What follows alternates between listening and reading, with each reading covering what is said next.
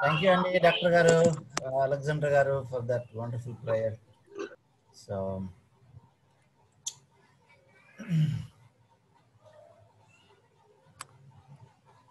welcome to this evening's class on second century the era of apostolic fathers yesterday also we looked at this topic we continue from yesterday's uh, lecture we stopped in between somewhere uh, and then we stopped i think here Marcion. We have been looking at the second century church fathers contribution and their struggles.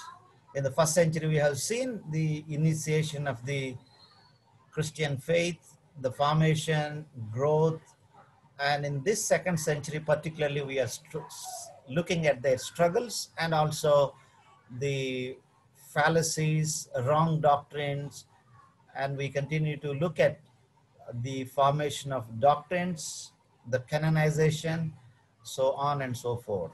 Let's look at Marcion, the father of the second century. Particularly, he came from Asia Minor to Rome. He was excommunicated in 144 AD because of his teachings. He wrote Antithesis. I think I have posted this Antithesis. Some of you might have read it he listed contradictions between Old Testament and the New Testaments to prove that God of the Jews, the creator of this miserable world, you know, he looks at God of the Jews, the Old Testament, God is the creator of this miserable world, was quite different from the God of the Father of Jesus. Look at this. You know, he quite interestingly he says the God of the Old Testament who created the miserable world is different than the God of the New, the New Testament where Jesus says, my Father. He contradicts in that it was inconceivable that the divine Redeemer could ever have been born of a woman. And Marcion rejected the story of the birth and childhood of Jesus Christ as a falsification imposed on the authentic story. I think yesterday also mentioned the other church father, uh, the initial father who denies the virgin birth of the Lord Jesus Christ. Even now, today, also, there are some people who have the difficulty in accepting the virgin birth of Jesus. So here Marcion particularly divides a father between um, the Old Testament father and the New Testament father of the Lord Jesus Christ. So he sees a difference between that, but Bible is very clear. When Jesus says, my father, he particularly refers back to the father who is mentioned in the Old Testament and also the father who created the heaven and the earth.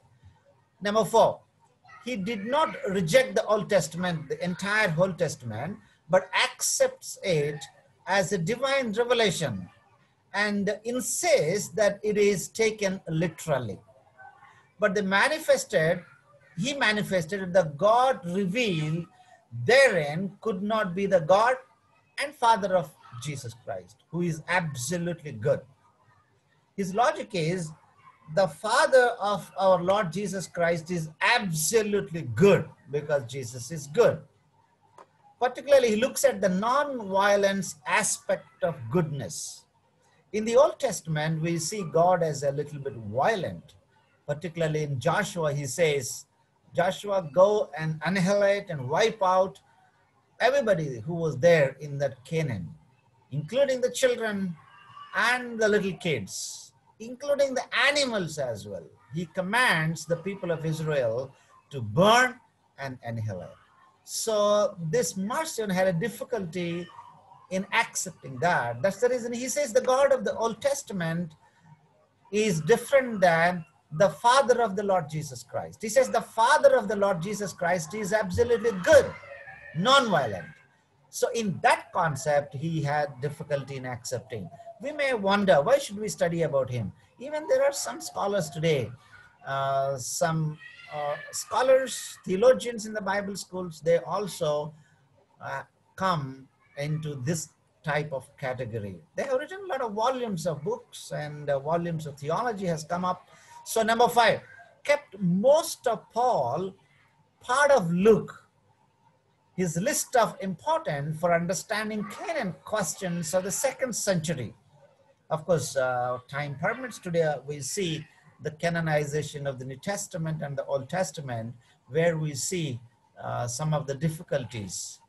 The 12 apostles had not possessed the insight uh, to comprehend the true meaning of Jesus you know he says that they had, they do not have the true meaning of jesus because his understanding of jesus is different than the disciples understanding of jesus. When the disciples of jesus understood the lord jesus they understood he is the father of the god of the old testament the god of the father who who is mentioned there. But his understanding is jesus is entirely different. So number six contrasted the god of the old testament as the god of justice whose principle was an eye for an eye and a tooth for a tooth with the loving father proclaimed by Jesus. You know, that's what I said. Jesus proclaimed the loving father. He had a difficulty in understanding that.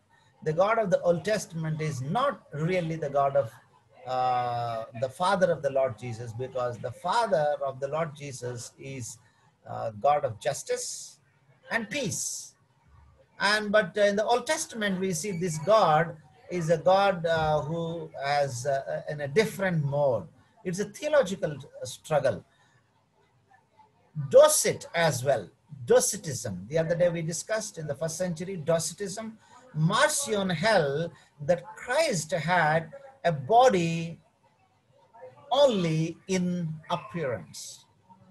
In in Christology, I think I mentioned it uh, when we had this systematic theology.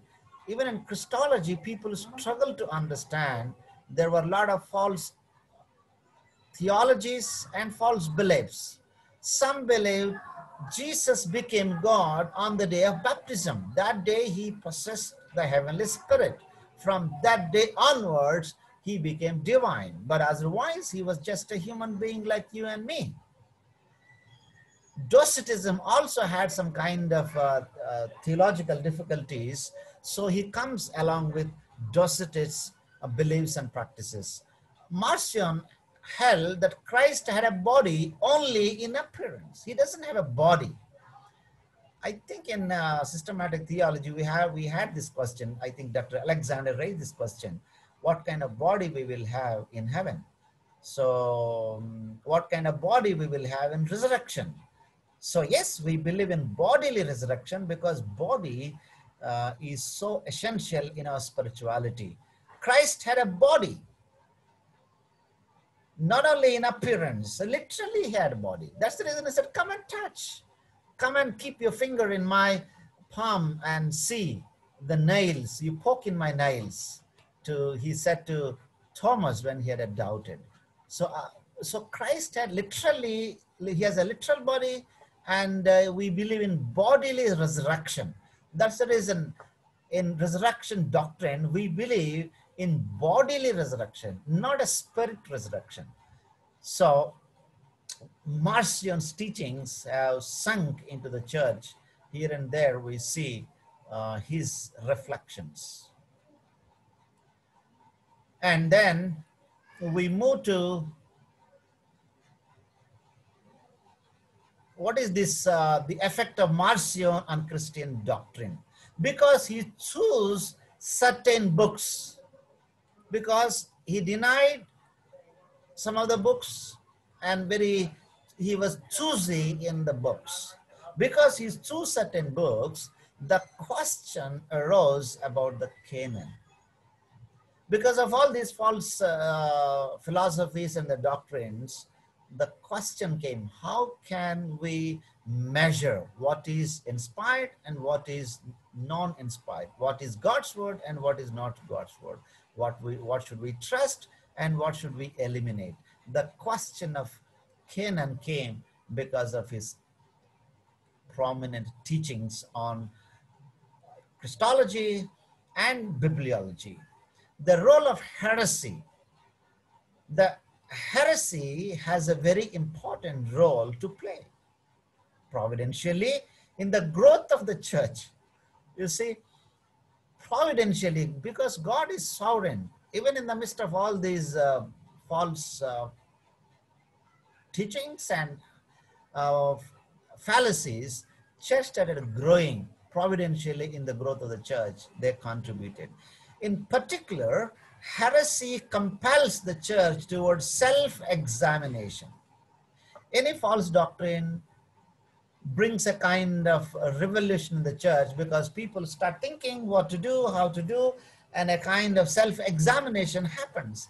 Conscious reflection, clear thinking, and formulation of its commitment. That's what happened in second century. Because of all this, particularly because of Marcion, a self-examination and conscious reflection and clear thinking and formulation of its commitment. That's what happened. Any, even in the first century, because of the persecution, uh, because of suppression of Christian uh, faith, people had a self-examination and a conscious reflection, clear thinking, and formulation of its commitment. Even now, in the context of India, we are hard pressurized. We are hard pressured, and a lot of uh, distractions and um, a lot of false uh, teachings are getting into the church. Pressure inside and pressure outside because of the Hindutva. But in spite of all that, God is sovereign. Providentially, church gets so strong because there, there will be a self-examination and a conscious reflection and particularly clear thinking. You know, we get clear thinking when our faith is challenged. Sometimes theological studies uh, pushes us to do a lot of uh, unnecessary theories and a lot of studies. We, our faith will be challenged sometimes. During that time, we self-examine the theories and consciously we come back to the biblical faith and our thinking becomes so clear. What is right and what is wrong. This really happened. This helped me. You know theological institute some first time when i went i thought running away from that institute because i thought i'm just wasting my time in doing all sorts of unnecessary books book reviews reading the papers and know, arguing which is not really essential. But now i look back and my thinking became so clear. Christ focused and christocentric and biblical based and my faith increased day by day the more i was challenged. This is true. That happened in the second century because of that. So that the, the psychological affection of heresy and christian doctrine. Everyone was an edge about false doctrine because everyone was on, at the edge because of the false doctrine. Therefore, heretic would become an easy word to label an opponent. So there was suspicious. Anybody start talking and whether it is a heresy or a true doctrine, a suspicious spirit was very much predominant in second century. It started to become obvious that Christianity needed to be well defined with the general consensus among theologians. So anybody comes with a kind of uh, exegesis and a new teaching, he had to defend, he had to explain. So it be, people became more uh, biblical center and there was more awareness about what is right and what is wrong in that context, apologists came to def- apologists are the defenders of the faith. You know, actually today, apologists had a different meaning.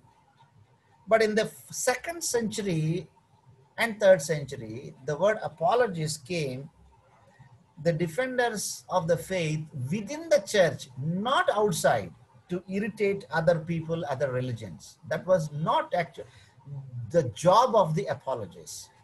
the apologists came to defend the faith within the church to nullify the false philosophies and false doctrines. Not to nullify the religions of the ancient Near Eastern. They have not used, actually, the, these apologies, the, the word apologies came into the church just to preserve the doctrine of the church. They never had any job. Even in those days, there were so many other religions. They were not, that was not their job to kindle or uh, no, look at the other religions down and my religion is great and proving your faith. No, to prove the truthfulness of your faith was not to the other religions. It was only inside to reform the church and to help people what is biblical doctrine, what is not. But today we misuse this apologetics. You know, this apologetics is not really inside, it's only outside. We go around and uh, make uh, some kind of uh, challenging crusade type of mindset, and we say that we won and they lose, and we are right, they are false. But this should happen within the church. What is right and what is wrong. Where we are in the scriptures and where we are not. And what should we accept, what we should not accept. So significant works of these apologists. The letter of Clement, I think these are all letters eight I have posted. The letter of Clement 96 by, by Clement, a bishop in the church at Rome, was written to the Corinthian church to settle a dispute there. So these apologists, particularly, they played a vital role in peace building to settle the theological issues within the church. And today, why there are so many false teachings and common Christians are perplexed and Hindus are also, uh, uh, they are very much confused about Christian faith. And even particularly so many different uh, teachings and different uh, sects within us what to believe, what not to believe is a, a, a real struggle to have new followers of Christ because we don't have apologists. And we apologize, the office of apologists have gone outside the church. That's the problem. Within the church, we don't have apologists who could say that, yes, let's have this kind of faith and of course, there are here and there. Here in Hyderabad, we have a kind of uh, right for right theology forum, and some people have started this and that. But they are also uh, not really exactly doing the job of the early apologist job. Number two, letters of Ignatius to Antioch. Now, this Ignatius was uh, executed in Roman AD 110 and he wrote seven letters to various churches as he traveled to Rome. Sacrificial investment. They have written letters to churches and strengthened the churches, but uh, where are we today? You know, we don't have such people today to strengthen the church, to write the letters. So, and the other one is Didache, the Didache. This is the oldest surviving handbook of church discipline in two parts. Part one is about Christian doctrine and part two is about church practice. Church practice. And the, the fourth one is the fragments of Papias, 110 to 130. Papias was the bishop of the church in uh, Hierapolis uh, in Phrygia. His letters was uh, intended to preserve some of the sayings of Jesus, which have not been recorded in the Gospels. Not everyone in the church accepted that these sayings originated with Jesus. You know, if you read that um, uh, first-hand information, what we call primary source, you will understand. The history of Christian doctrines banner the truth in the page number 49 to 50 you see this so the letter of barnabas in 120 probably written alexandria and is uh, mark, uh, mark anti-semitic portraying the jesus as the murderers of uh, no the jews as the murderers of jesus I think I have posted, you can read that. The Shepherd of Hermas, which is very prominent. somewhere between 110 to 140, this letter has been written, written, to, written in Rome. Hermas claimed to have received revelation from two heavenly figures. It emphasizes the need for moral purity in the church. Moral purity in the church. You know, even in the second century and first century, also they had this struggle. Struggle with the morality. Even now we have. The shepherd of Hermas, uh, you can read that. The letter of Polycarp to the Philippians. I think some of you might have read uh, the Polycarp's, Bishop Polycarp's persecution and the way that he struggled, his martyrdom uh, contributed enormous growth in the church. Polycarp was a famous second century martyr, and his letter is important as an indicator of uh, mainstream church life during that period. Quotes extensively from the New Testament and warns again against heresy. You need to read that letter. It's an amazing letter. A letter to Diognetus, somewhere in the first half of the second century, this letter has been written, written to demonstrate the superior, superiority of Christianity, other is unknown.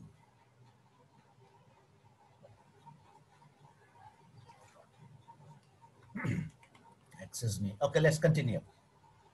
These are some of the North African fathers, the apostle, apostle apologists, apologists,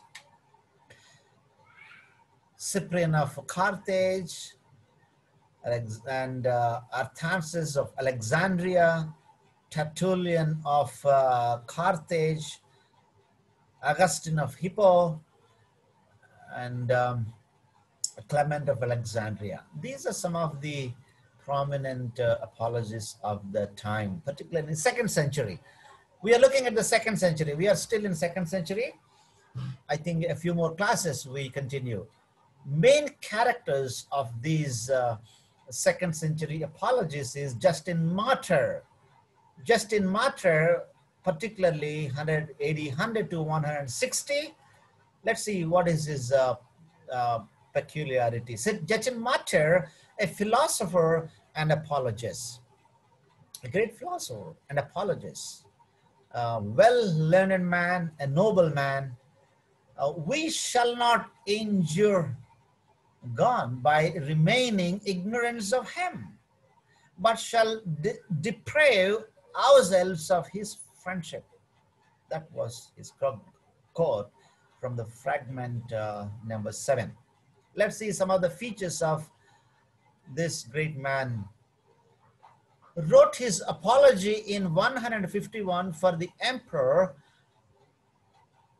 Antoninus Pius what did he write? Some of the significant uh, significance in this letter is Christ is for Justin, the principle of unity and the criterion by which the truth is judged. Justin Martyr sees the logos as light of light, begotten, but distinct from the Father, therefore, not diminishing or dividing the being of the Father. He laid the foundation for Trinity. You see, his uh, philosophical explanation towards that the union between God, Father, and this Holy Spirit. Of course, Holy Spirit he doesn't mention here. Light of light, begotten, even still, people are struggling how to understand this begotten. But distinct from the Father. He, he particularly says he's distinct from the Father. No, by then the Trinity was not established, and the relationship between the Father and the Son was not. People th- thought about it. Even Nicene Creed was Creed was not there. What we had in Nicene Creed today, we have these terminologies: begotten, distinct from the Father, Oh, no, it is it has come from this kind of philosophical thinking from these fathers. Therefore, not diminishing the divi- divi- dividing the being of the Father. In AD 60, dialogue with the Trypho, the Jew, concerned with the Christian claim to be the universal religion to which the Old Testament prophets had looked forward and dominated by detailed arguments from particular prophetic texts. He was convinced of the argument from prophecy. Of course, he's also a controversial figure. We will look at it. This led him to renounce Marcion's uh, disparagement of the Old Testament. In the Sermon on the Mount, Justin Martyr saw an ethic of universal validity, continues with the highest aspirations of Judaism, but uh, freed of the shackles of uh, ceremonial rules peculiar to one race among the hundreds of God's creation. And the other significance of his teaching is the early Christian theology and uh, apologetic relied on interpretation of the Old Testament prophecy as uh, foreshadowing the gospel. It was also the prime content of the instruction of uh, catechisms. The defense of the hope within them was found in the Old Testament prophecy of Christ. Psalm 22 and 53 also he mentions.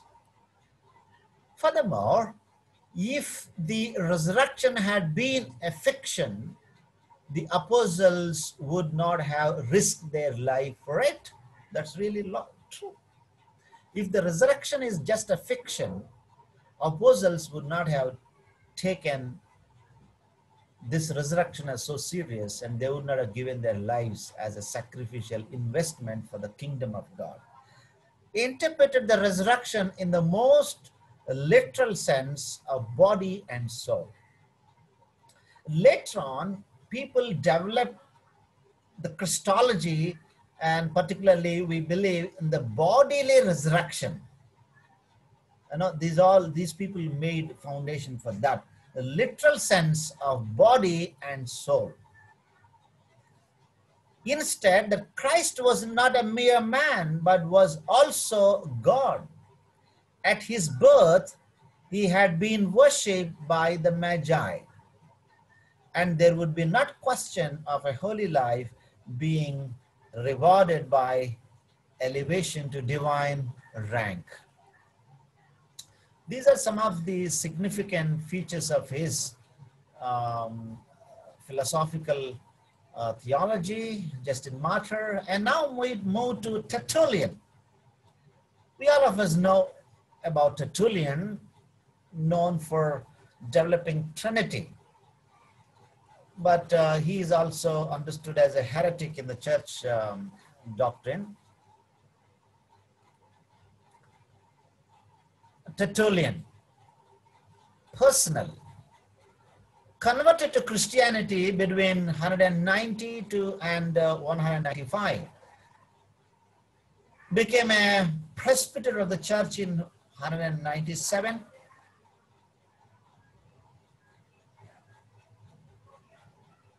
What happened? My screen is disappearing. Give me a second.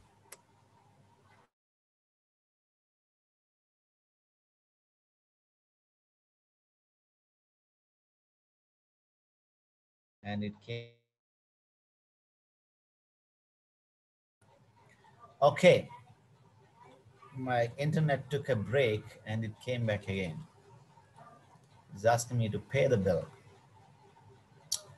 Can you hear me now? Yes, sir. yes, can. doctor. So,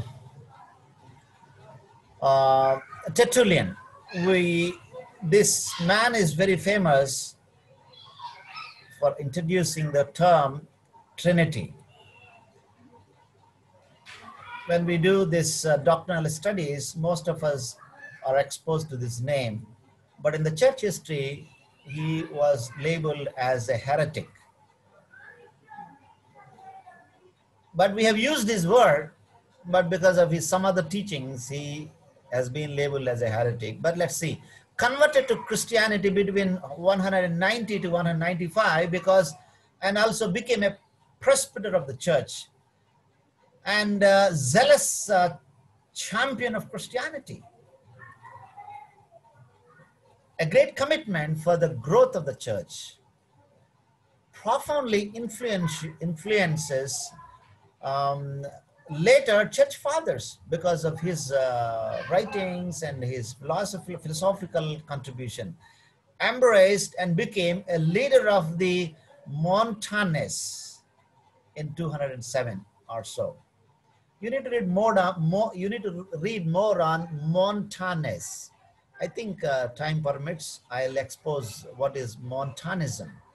A sect later declared heretical no, he inclined to that teachings and uh, he subscribed to Montanus. Particularly in Rome, he developed his teachings in between 160 to 200 writing, some of his writings. Apologeticus. These writings are there. Maybe let me find out. I can post his most famous work is Apologetics, Ticus, a defense of Christians against pagan charges. You remember the other day, the pagan charges, what are those pagan charges? You remember? They charged Christians saying that these are cannibals and um, uh, because of their non-worshipping idols, our gods the, god, the gods are angry and natural calamities coming because of them. Because these fellows are not worshipping our gods. Those are some kind of charges they made on Christians. He has written all of that. You can read that, Apologeticus. Uh, you'll find out all those uh, uh, allegations and how he defended. Uh, on baptism, and even Christians were labeled as cannibals because of the taking the Lord's Supper, bread and wine. On prayer, his teachings on prayer, baptism, throws light on a contemporary religious practices. If you read uh, his uh, uh, Apologeticus. So the next one, uh, the, uh, particularly the Tertullian scornfully mocked those who advocate a Stoic or Platonic or Arian Aristotelian Christianity. Three by four, what has Athens in common with Jerusalem? Three by four, I believe it in Christianity because it is absurd and uh, was a significant uh, exponent for Trinitarianism in third century. When we go to third century, we are going to see what is Trinitarianism. And now the other prominent figure in the second century is uh, Theophilus of Antioch not much has been written on about him, but uh, he is also a prominent uh, figure in second century, Theophilus of Antioch. So this man, uh, what is the significance of this man? Let's look at him. The general character and significance of the apologist. We look at him and then we close today's lecture.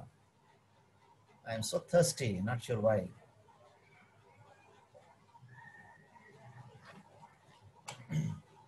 Excuse me.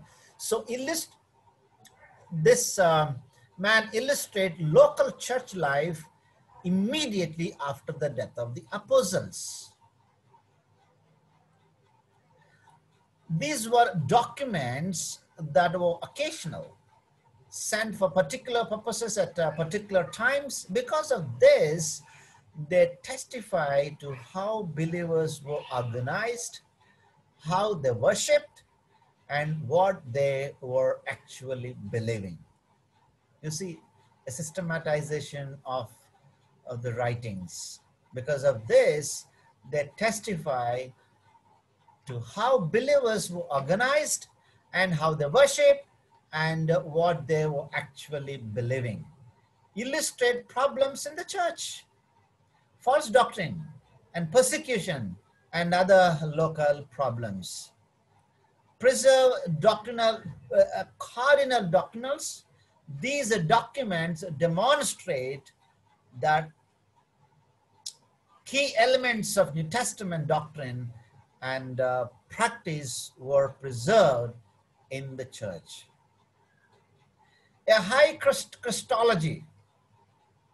Christ's deity was not in doubt in the second century.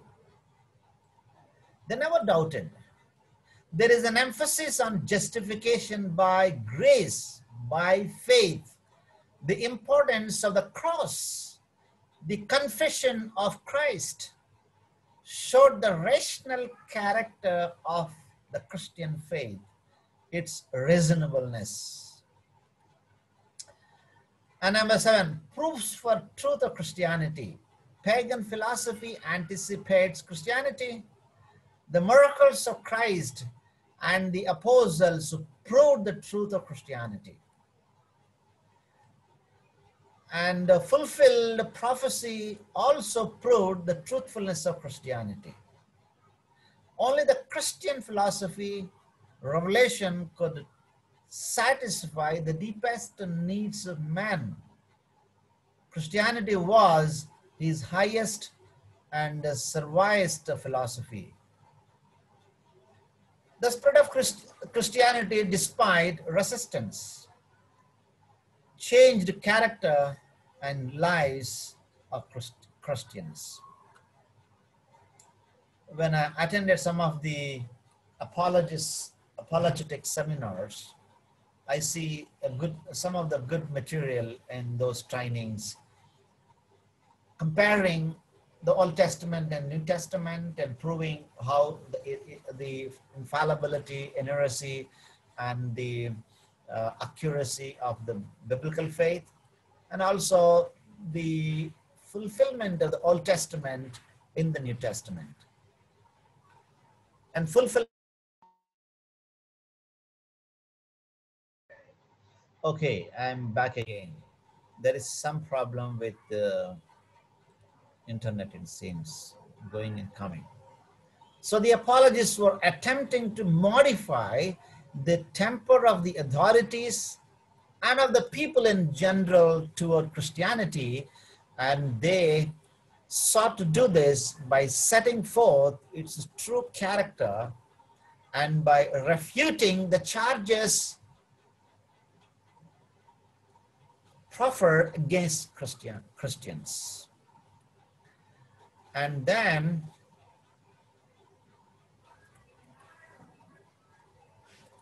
I think we stop it here today, and tomorrow we get we look at lecture number eight on mm, the the other church fathers.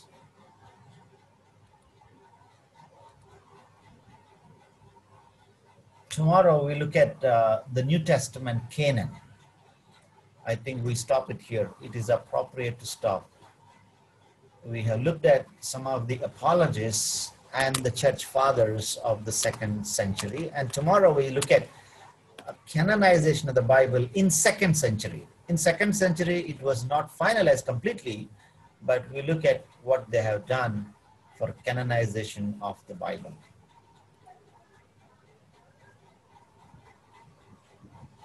Okay, any questions or concerns? We are going very